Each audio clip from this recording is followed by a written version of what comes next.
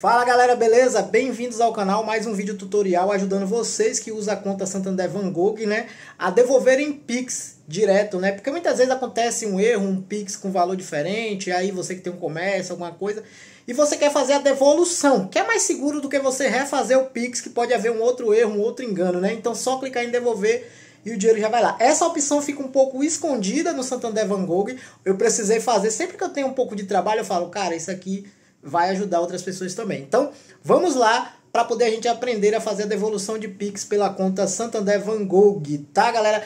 Se o vídeo te ajudar, não esquece aquele like que ajuda muito, se inscreve no canal que a gente sempre está trazendo tutorial, principalmente de banco. Vamos lá! Bom, galera, já estamos aqui dentro da conta Santander. Vamos olhar aqui o saldo disponível, vamos clicar aqui em ver extrato. E aqui, galera, tem um Pix de dois reais que eu fiz. Inclusive, né, eu mesmo fiz automaticamente para mim, né, acabei de receber esse, esses dois reais. Inclusive, você pode clicar nele aqui, ó, e você não tem mais informações, só da data, não tem do horário. E esses dias eu precisei ver um horário de uma transação para poder buscar em uma câmera, porque houve um engano aqui na loja. Então, galera, por aqui, em extratos, não tem muita coisa a se fazer. O que, é que a gente vai fazer? Vamos voltar para o início e vamos clicar aqui em Pix. Quando a gente clica em Pix, aqui embaixo, ó, bem cá embaixo, tem aqui, ó, extrato Pix. Vamos clicar nele.